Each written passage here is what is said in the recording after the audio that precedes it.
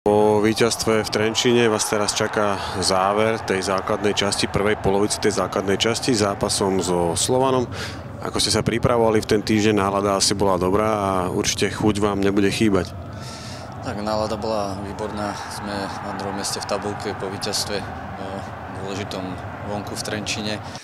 Takže, takže to, to mústvu pomohlo, cítime sa fajn.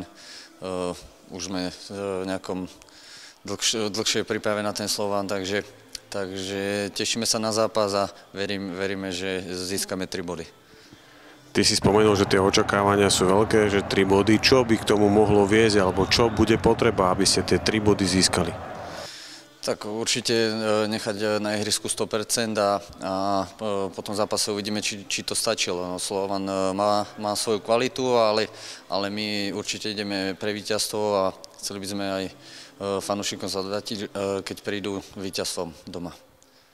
Ty si prišiel do Spartáka teraz v lete, vlastne je to tvoja prvá sezóna v Spartaku, ale nebude to tvoje prvé derby Slovan Trnava. Ty si tie z tých zápasov už odohral niekoľko, ale v slovanistickom drese. Teraz to bude iné. Aké to bude?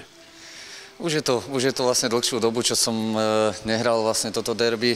Bol to v drese Slovanu a e, nepovedal by som, že by som, že som na to zabudol, ale vlastne už je to dlhšia doba, tak to nebude také špecifické.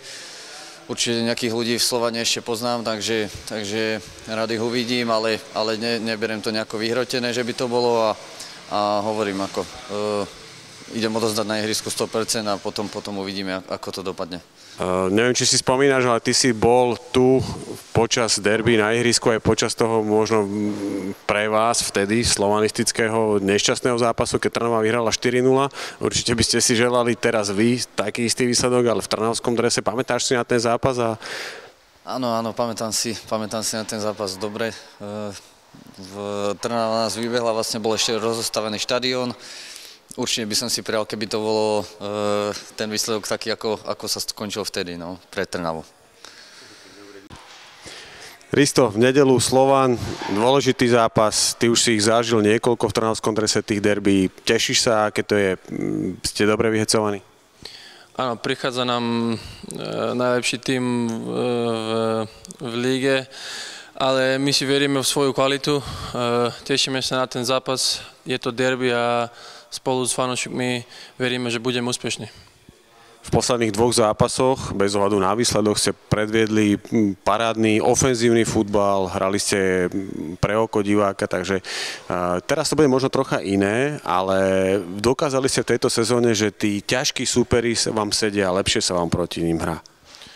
Áno, tak vyzerá, že keď sme hrali s tým nižším superi, že, že sme sa trošku viac trápili. Eh, že myslím, že ofenzíva nám funguje dobre v tejto sezóne, že vytvárame tie šanci, dobre pracujeme na to ihrisko. Verím, že aj v nedolu eh, budeme mať svoju, svoje šance a budeme ich premeniť. Ako som povedal, budeme, verím, že budeme úspešní.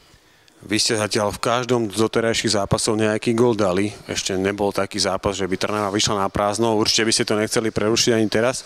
Čo ty osobne? Proti Ružomberku si mal dve asistencie na gol v Trenčine, si sám skoroval. Cítiš, že tá forma ide hore?